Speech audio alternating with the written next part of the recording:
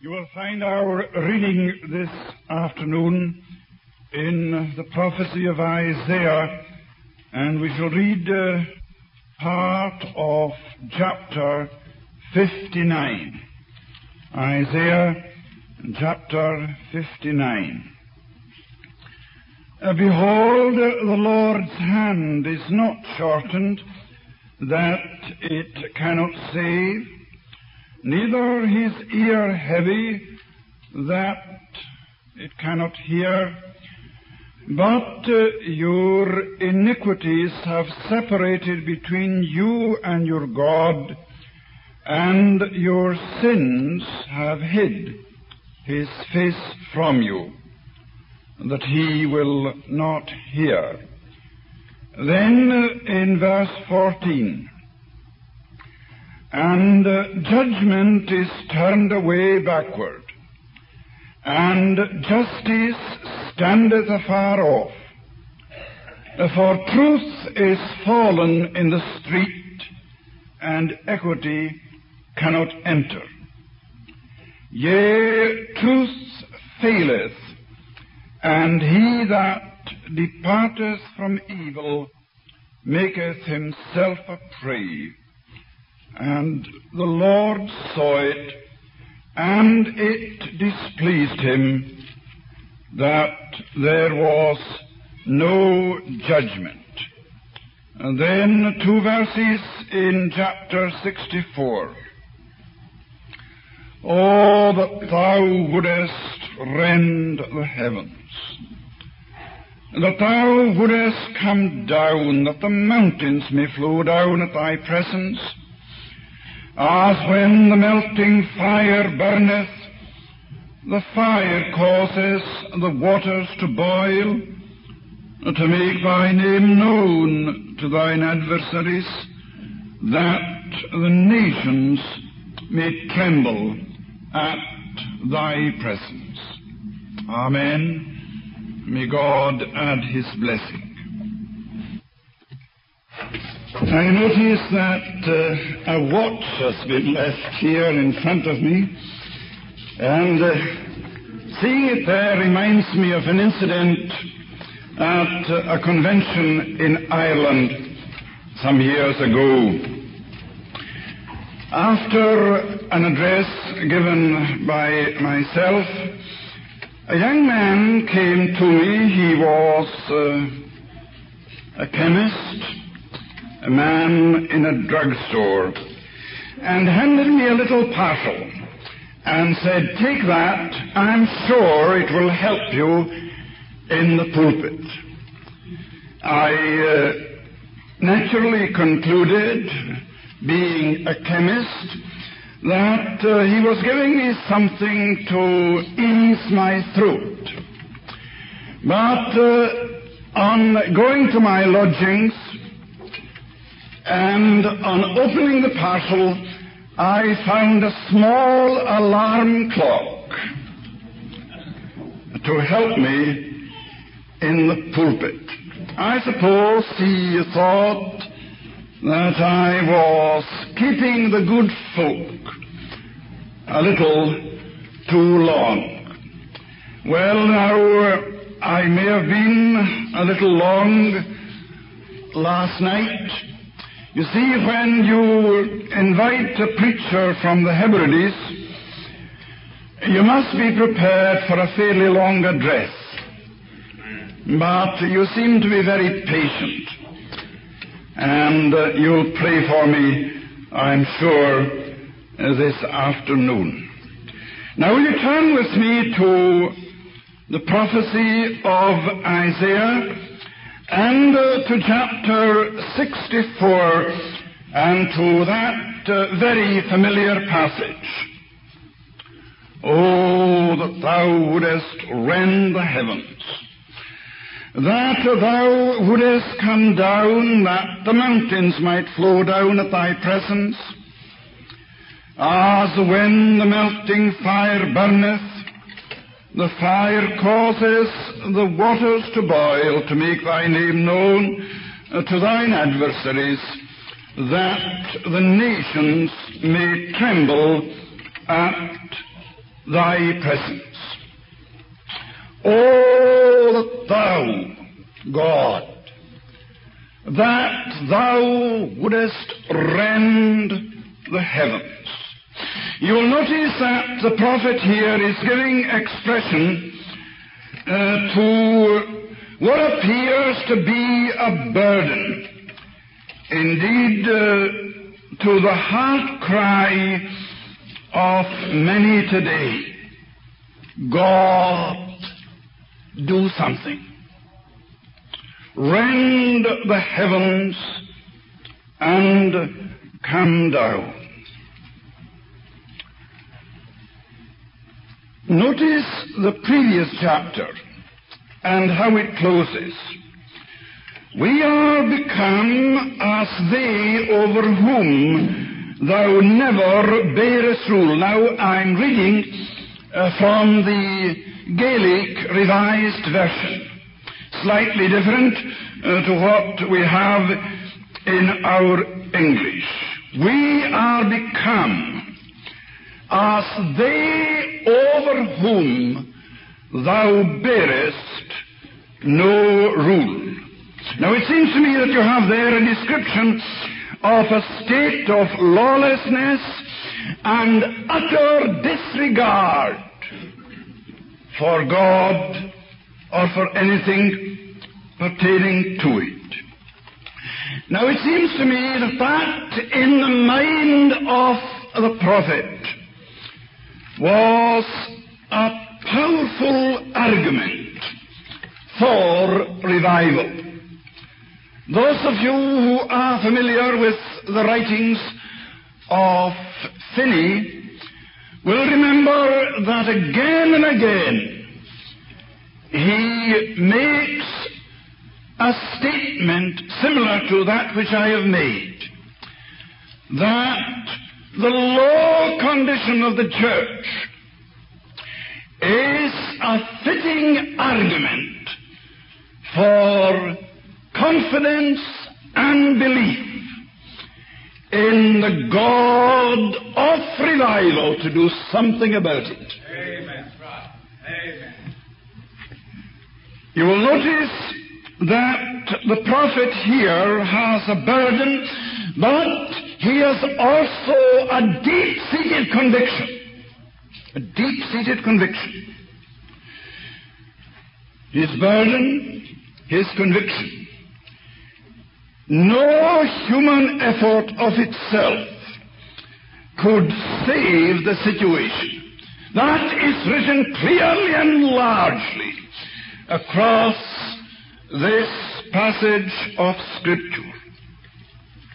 You will remember that chapter 1 gives us a picture of the situation. A sinful nation, a people laden with iniquity, a seed of evildoers, children that are corrupters. And here the prophet clearly indicates that nothing can happen. The situation is so desperate.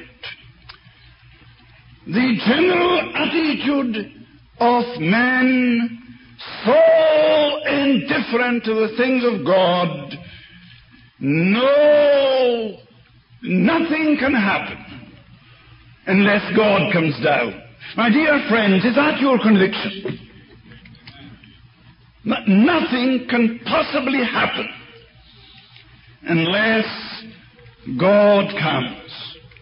But he goes on to say, or to suggest, that uh, if God comes down, if there is a manifestation of God moving in the realm of the supernatural, and revival is supernatural. Oh, brother, remember that. It's supernatural. In revival, you're caught up in God. I had a letter some time ago from two of our workers who were in the midst of a remarkable movement in the field of revival. This was true revival. Whole communities were touched. One town swept by the mighty power of God and desperate characters brought to a saving knowledge of the truth. I happened to be there one night assisting them, and one morning when out for a short walk, a contractor in the town met me and said this, My, wasn't that a remarkable meeting last night? I was never in such a meeting. Do you know that my wife, three of my children, all in their late teens, and myself were gloriously saved at four o'clock this morning? In a letter some days afterwards, one of the girls in the midst of that revival said this. This is a wonderful move. It's greater than ever. There's deep conviction of sin. God is let loose. Have you got that? God is let loose in the place. And He is in the field, and we are caught up in God. That's the language of a heart in touch with revival. And that, I think, is the conviction that has gripped the prophet. Oh, let God come, and mountains will flow before His presence, and nations will be made to tremble, and terrible things will happen, and things that we looked not for. Now it seems to me that the time has come, and what I say in this camp meeting, when uh, we must face ourselves with honesty and with sincerity. And I would say also with an open mind an open heart, ready to listen to God. Oh, brother, listen, are you ready to listen to God? We read that his arm is not shortened that it cannot save, nor is his ear heavy that it cannot hear. But I fear that there are many of God's dear children today whose ear is heavy. And I pray that we may have ears today to listen. As we are going to face this question, we're all interested in revival. At least I would say most of us. And I can well believe that the question is being asked if God has the answer,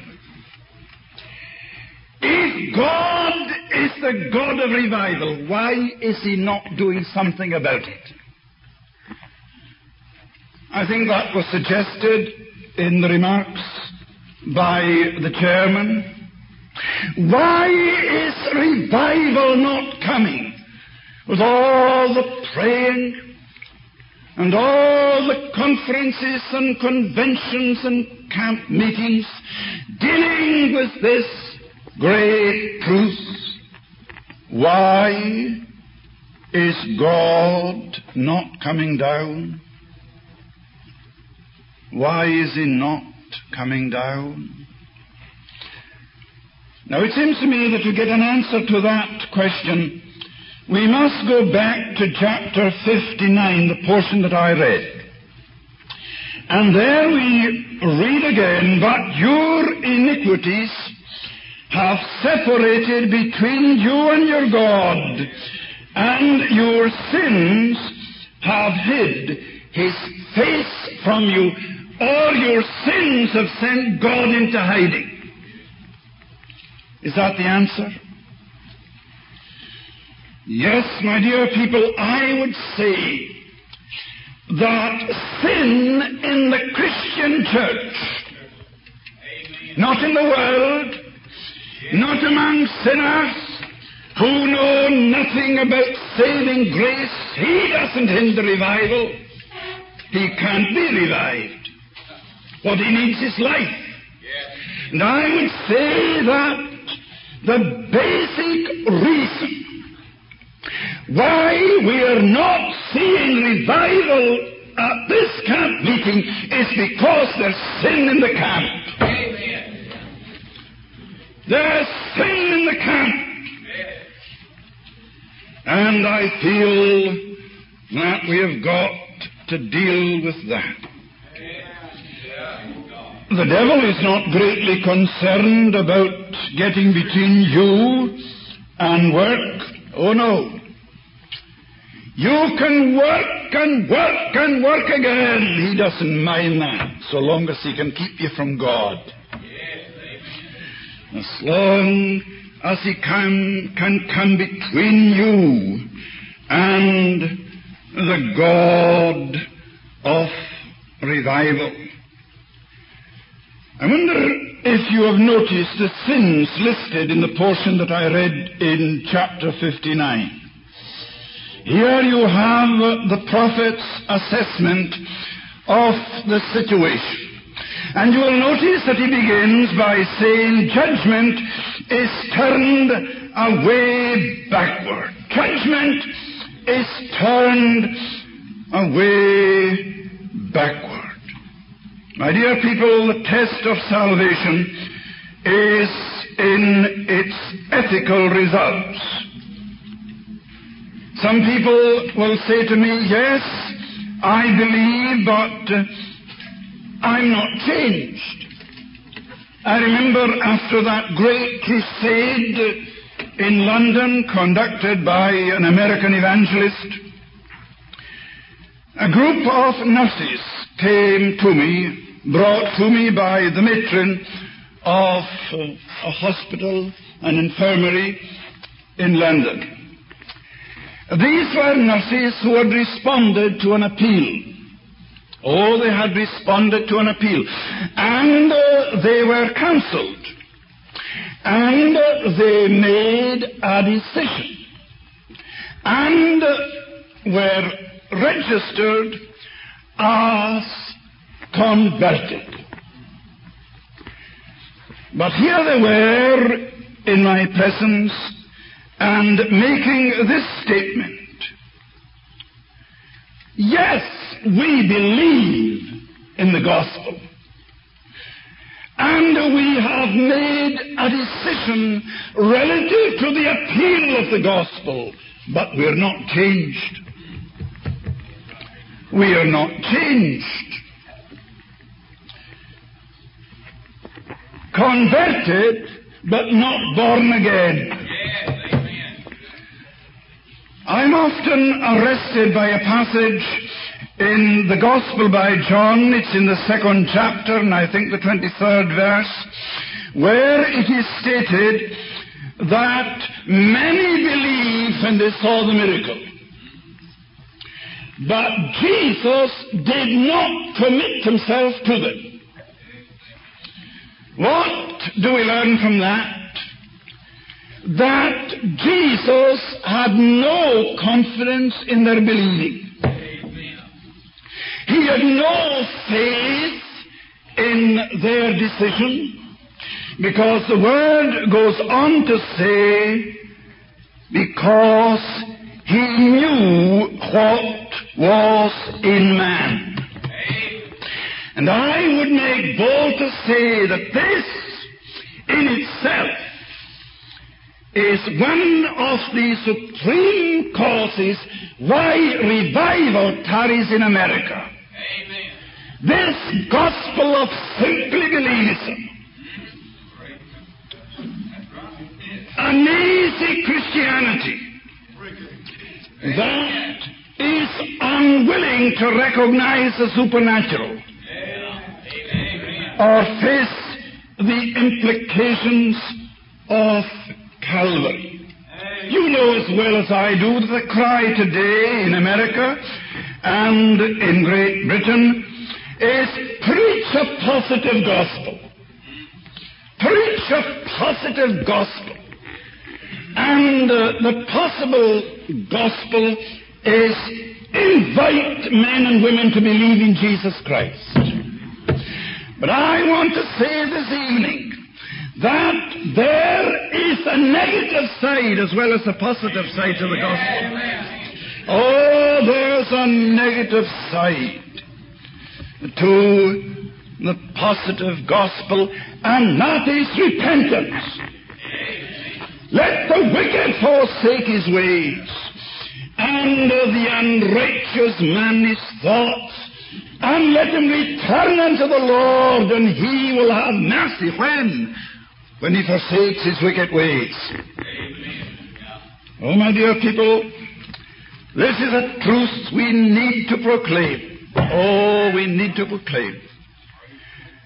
And here I think I ought to mention the difference between simply believing in the realm of human faith. But my dear people, you're not saved by human faith. Amen. We are saved through faith alone.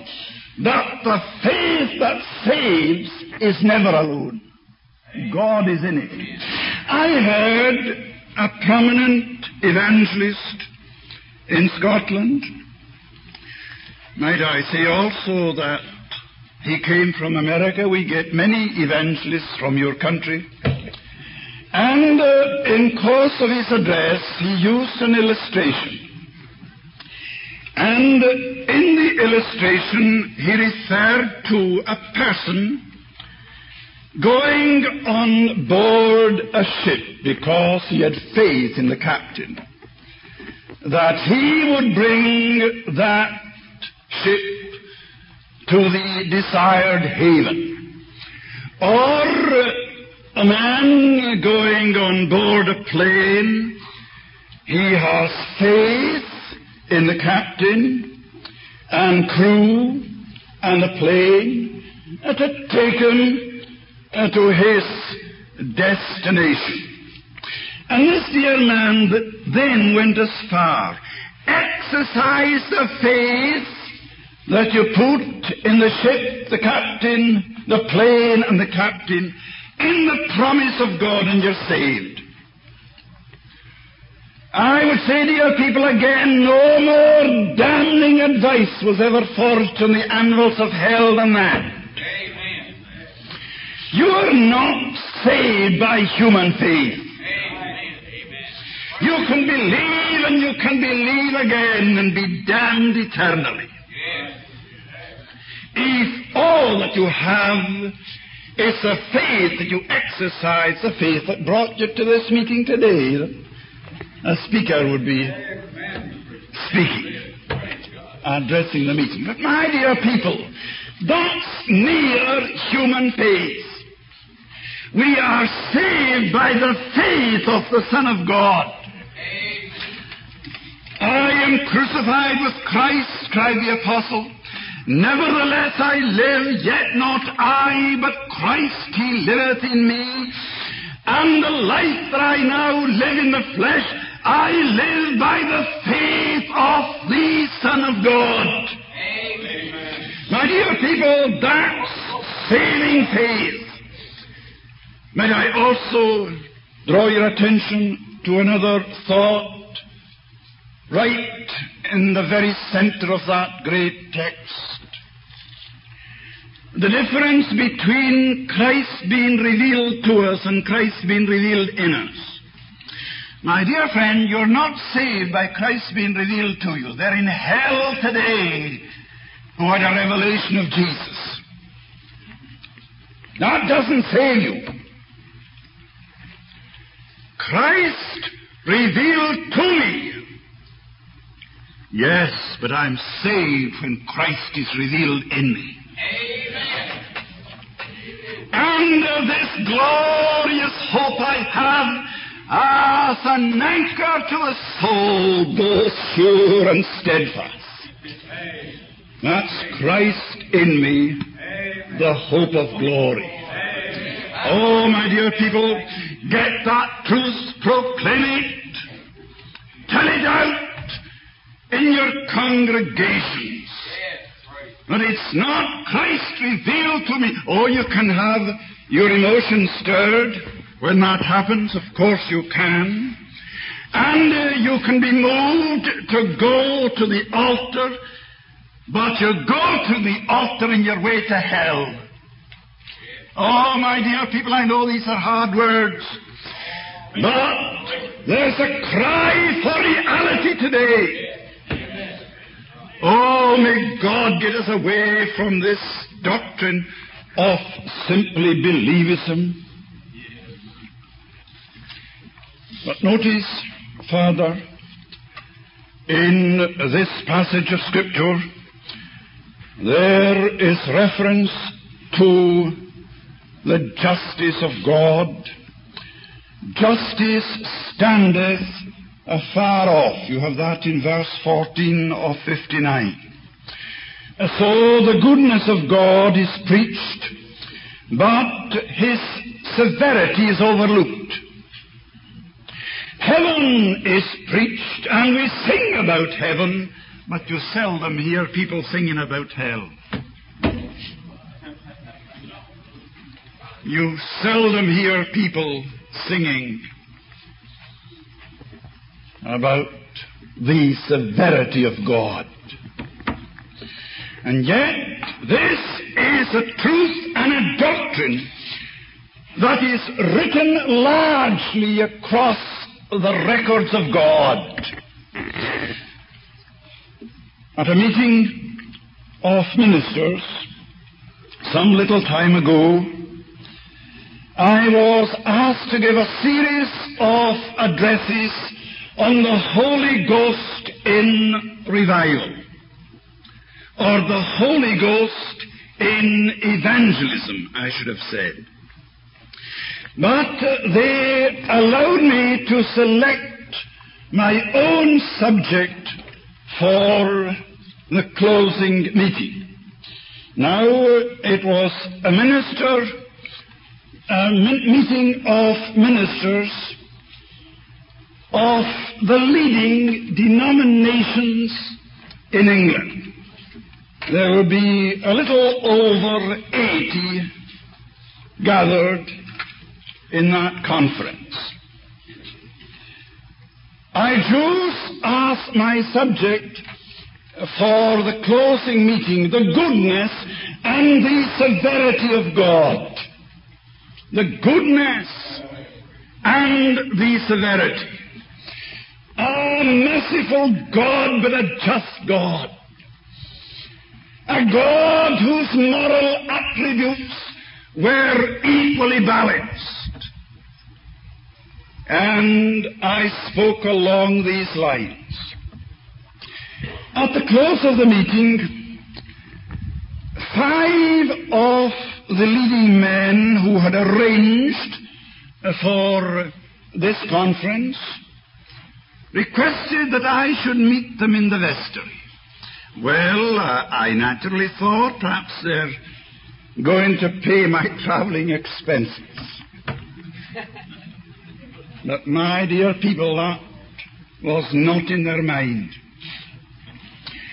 When they gathered into the vestry, shut the door, the chairman, a doctor of divinity, a prominent man in evangelism, uh, the type of man, the three of the five there, brought coaches loaded to Harringay to listen to Dr. Billy Graham. Oh, they were interested in evangelism, and they were men who had arranged nights of prayer prior to the conference that I'm referring to. But would you believe that I was faced with the question, Mr. Campbell, do you really believe in the hell of the Puritans? Do you believe in the hell of the Puritans?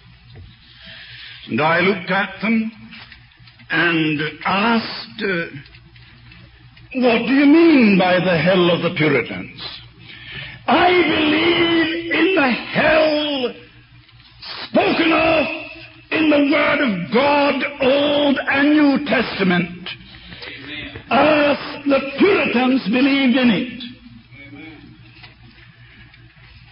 Would you believe that I had to listen to the following words? Mr. Campbell, if we knew that you believed in the hell of the Puritans, you would never have been asked to address this conference. My dear people, that's the day in which we're living. I'm sure that Lord Samuel was right to mark you, he was a Jew speaking in the House of Lords and quoted by the Daily Express, one of the leading papers in England. This is what he said, How we find to our dismay that the vices of Sodom and Gomorrah are rife among us. The moral law is weakened because the dogmas of heaven and hell no longer grip and control conduct. Was he right? His words to me prophetic. The doctrine of heaven and hell no longer conducts or controls conduct. When Jesus, my dear people, when Jesus spoke about hell, and have you discovered that for every time Jesus spoke about heaven, he spoke 13 times about hell. Read your Bible and discover that. And I maintain that when Jesus spoke about hell, he was not fooling humanity. The embodiment of eternal truth spoke of what he knew. Oh, my dear people, let's get this truth home clear. Justice standeth afar off. Standeth afar off. And that is definitely true today in your country and in mine. But then you will notice further that in the same portion it is written, Truth is fallen in the streets, and truth faileth. You'll get that in verse 15 or 59. Speaking to me of this great truth, that preaching truth without the anointing of the Holy Ghost is helping the devil to damn souls. Oh, my dear people, it's true there is nothing on earth today so deadening as preaching without heaven's anointing. Oh, I dread the thought that I should ever stand before a congregation without heaven's anointing, without having my address steeped in prayer. Oh, brother ministers, how much time do you give to waiting upon God?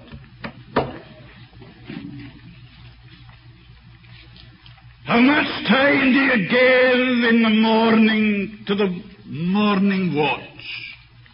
My soul, wait thou only upon God, for my expectation is from Him, and you rise from your knees, possessed of the spirit of expectancy. God is going to do something. My dear people, I believe that God is doing something in this meeting. I believe that God did something in last night's meeting. My dear people, God was here. And God was speaking. And I believe that God is speaking today. I wonder how many of you have read a passage in Spurgeon's lectures to his students. In one of his lectures, he tells of a dream that one of the Puritans had. As far as I remember, I think it was Boston, the Puritan, who wrote that great book, The Sevenfold Testimony. Boston, the Puritan. Well, this Puritan, whoever he was, had a dream, and he dreamt that while walking through the town, he saw the devil preaching at a street corner. And he suddenly made this discovery that he must be a fundamentalist. Boys, he was preaching the gospel. Preaching the gospel. Giving men to know that he believed the Word of God from cover to cover. So the Puritan went over to him and faced him with a question. Are you really the devil? Of course I am. I'm the devil. And you're preaching the gospel. Yes, I'm preaching the gospel. Preaching the gospel. Because I have made this discovery that my best weapon for the damning of souls is to get men to preach the gospel without the anointing. My dear people, be careful that you're not helping the devil. Preaching without the anointing. That is why I used to say to my students in Edinburgh, Oh, be careful in dealing with souls that you're under heaven's anointing. Be careful that you have the anointing that comes from above. In case in your endeavor to counsel a seeker, you're helping the devil to damn him. Oh, brother ministers, take this to heart. Take this to heart. Spurgeon says that when he read this, that he trembled. And I trembled again and again in face of it. Oh, my dear people, the devil is cunning. Oh, he's cunning. And if he can get you to preach a fundamental gospel, my, he'll make a fundamentalist of you. I tell you he will. So long as he can keep you from God and from the anointing that comes from on high. Oh, brother minister, see that your sermons are steeped in prayer. And refrain from preaching unless you consciously know that the dew of heaven is on your soul. Oh, my dear people, truth is fallen in the street. My dear people, it seems to me that it's in the streets in your country today. In spite of all your crusades, in spite of all your decisions, peace, truce, vital, dynamic, saving truth, regenerating truth has fallen in the streets. And the devil is tramping triumphantly over it. Oh, may God help us this afternoon. May God help us. But you will notice that there is a further statement here. Verse 15 again. He that departeth from evil maketh himself a prey. What a statement. What does it mean? The man who will take his stand for righteousness, for truth, for holiness, for Holy Ghost separation. Oh, brother, sister, the cry for separation today. You know that, you'll not mind me saying this, but I feel I've got to say it. I can't understand Christian women who seem to delight in showing so much of their body. My dear people, it grieves me. It grieves me to my soul. Why? I read recently of a minister interviewing a young Christian girl who was seeking blessing. And in course of conversation, he asked her, why was it that she seemed to delight to show so much of her body? And she said, because I love to show my legs. My dear people, my dear people, you may not accept that. And you may say what the dear lady said, uh, the widow of General Dobbie of Malta. She was chairing a meeting for me outside of London. It was a meeting convened and conducted by a certain women's association. There were several hundred of them. I was the only male among them. And uh, I spoke along similar lines. I was really dealing with that great truth. Christ in me, the hope of glory. And at the close of the meeting, she was overheard to say, that was a wonderful address. But we must not forget that the dear man was born and brought up among the hills of Scotland, and he has his own theology. well, my dear people, if my theology makes me mystical, I declare that if I'm spiritual and mystical, it's because the root of my Christian experience is in the realm of mystic.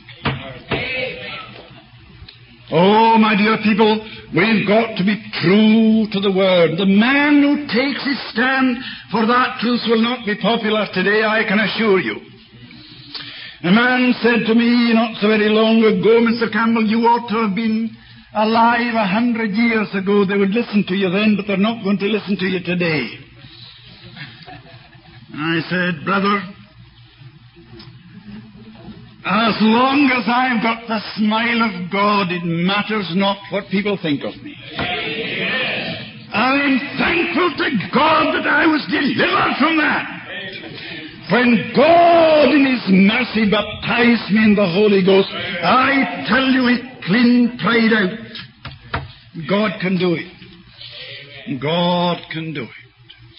But brother, I believe, I believe the time has come when men and women of similar convictions must stand together for this truth holiness, godliness of living, separation, purity of action, purity of living, purity of conduct. Oh, we need that today, dear people. Because truth is fallen in the streets. But further, you will notice this, that uh, confidence is born in the soul of the prophet. Oh, the situation is bad, but not beyond hope. When thou camest down, suggesting, God, you did it, you can do it again. When thou camest down, the mountains flowed before thy presence. You see, he declared that a new manifestation of God would put to shame the sins of the people and the false confidence of the ungodly. If God came down, if God came down, miracle would happen. Mountains would flow. And you remember that he speaks of a melting work. The mountains, oh, the mountains will now flow. They're, they're melting. And I would say the mountain of indifference, the mountains of opposition, the mountains of Lord's standards, the mountains of truth having fallen in the street as a mountain. Oh, see the mountains flowing before His presence. See emotion stirred. And that happens in revival. Oh, that happens in revival. I saw a thing happening when we were right in the midst of the revival. I tell you, it shook me at the time. It shook me. We're right in the move, midst of this mighty move. I couldn't preach. I simply couldn't preach because of the cry and the crowd kneeling round the pulpit. Oh, from every corner. Some were standing outside listening through the windows that were open. Came in and they're now on their knees beneath the pulpit. And suddenly, in the midst of all this, a young woman got out into the aisle and began to dance the Highland Fling. Began to dance the Highland Fling. I just couldn't understand it. The minister who was sitting beside me bent over and said, Brother, do you think it was the Holy Ghost that taught her that step? Well, I was a step dancer, and I knew that the step was all right.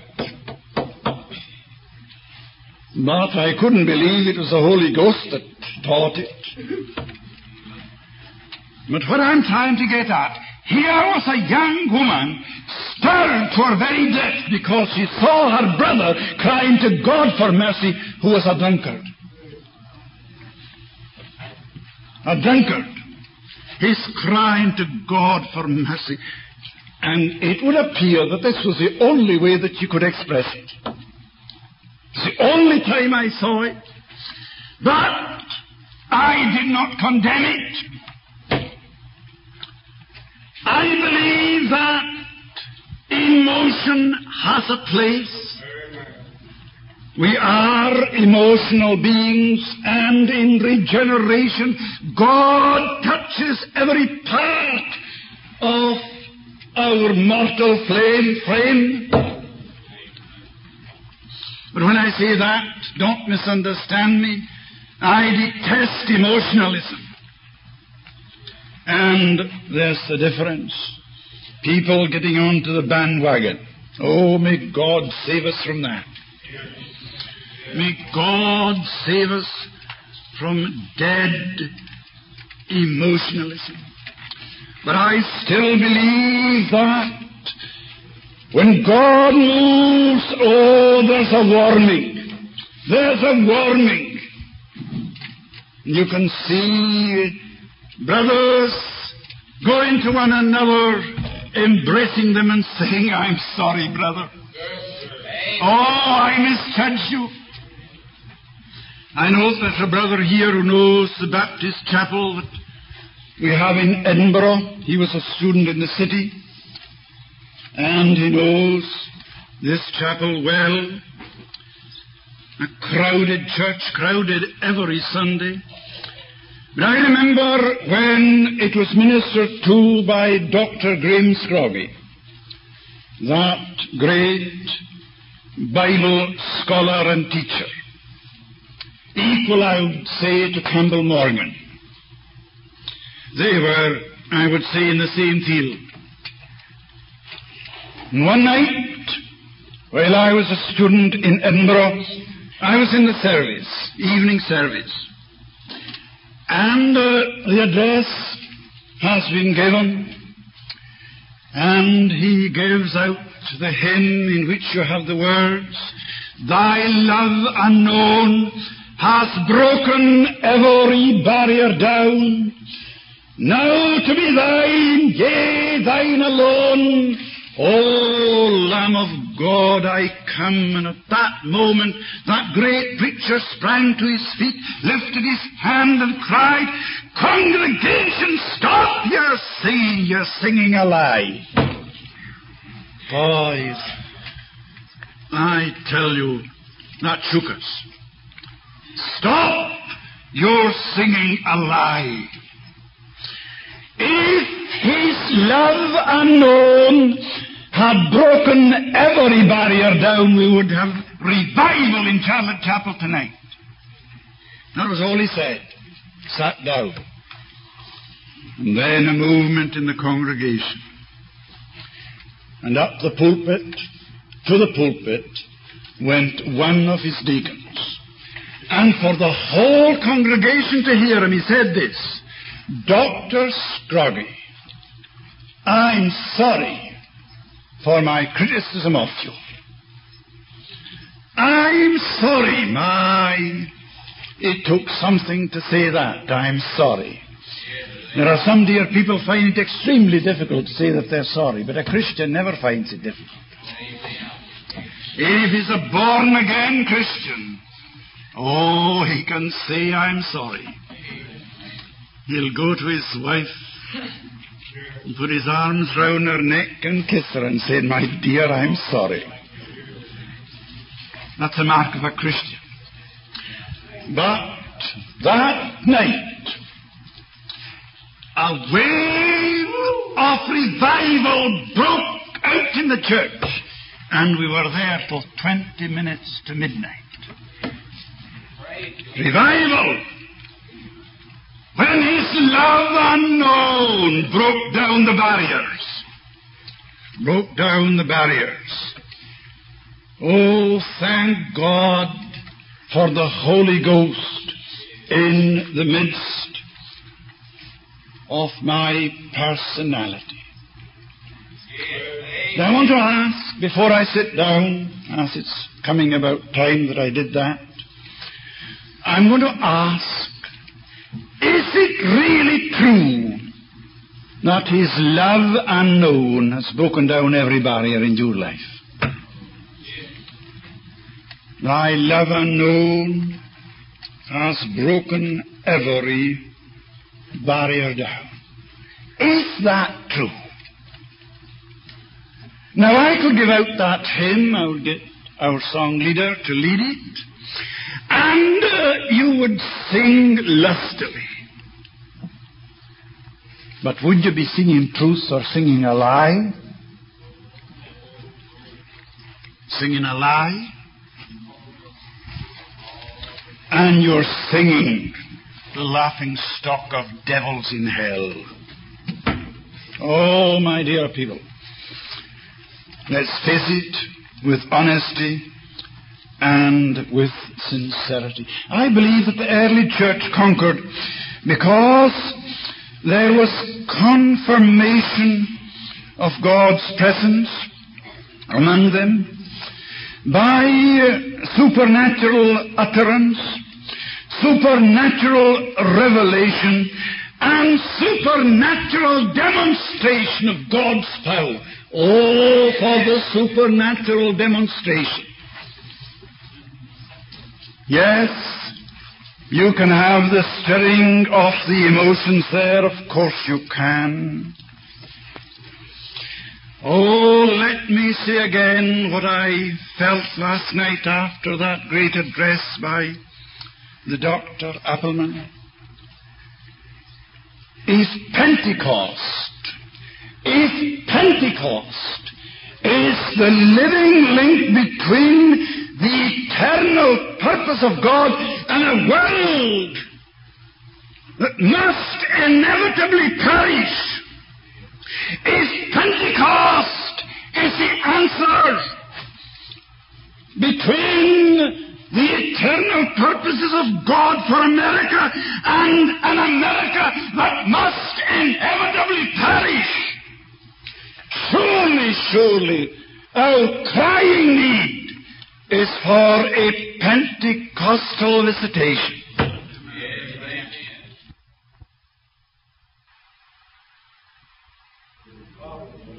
My dear people, as a country, you've known revival.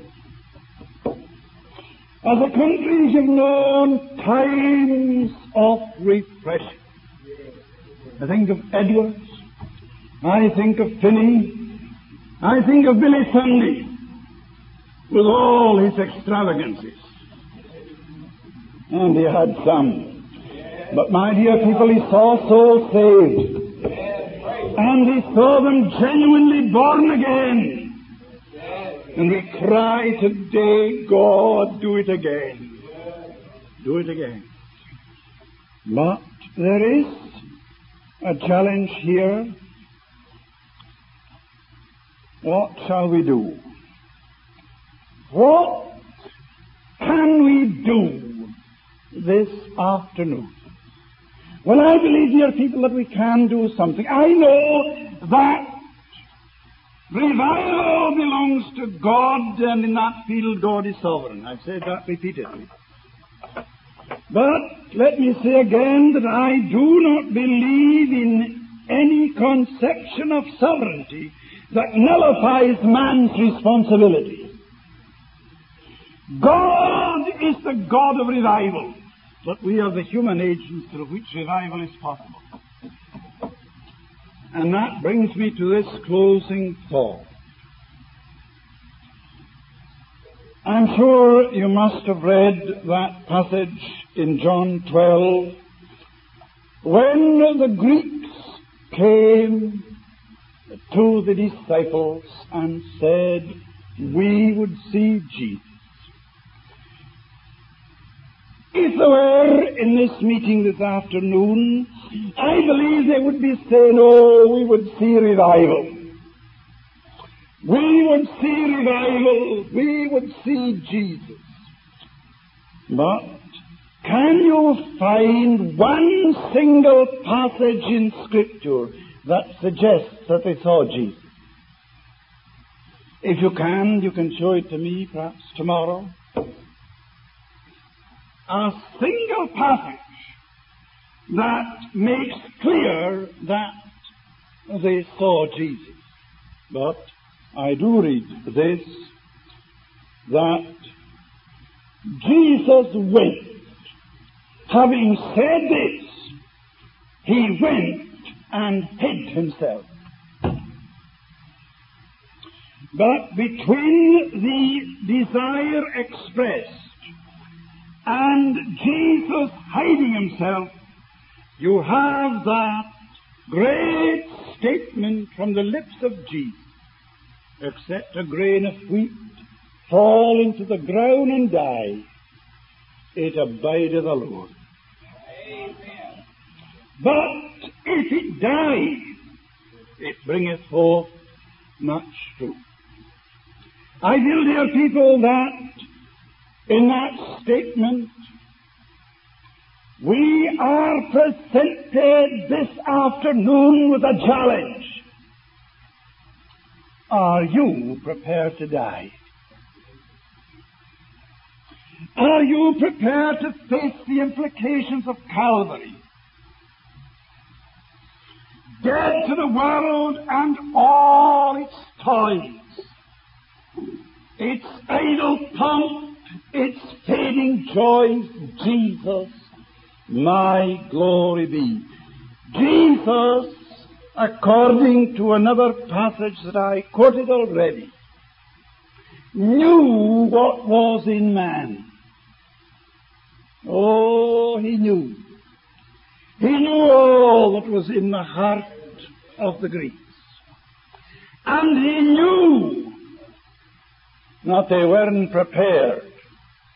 Were the Greek philosophers interested in doctrine? They could have been.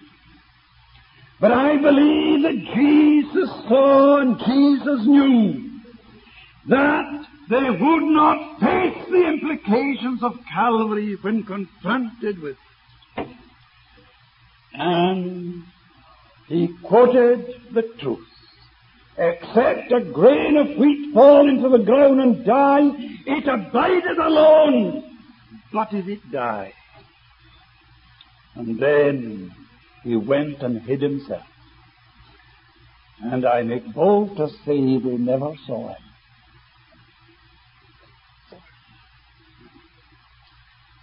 Oh, brother, you're interested in revival. Oh, you're interested in revival. And revival will come to your heart. It's got to begin there. The moment, with honesty and with sincerity, you say yes to the implications of Calvary. If any man will come after me, let him follow me. Let him deny himself and pick up his cross and follow me. My dear brother, sister, that is the challenge. That is facing you and facing me this afternoon. And I believe that God is bringing us this afternoon to a crisis in this convention. And it will depend on how you react to the crisis as to whether we're going higher with God or miss the way. Oh, may God help us. May God help us. Amen.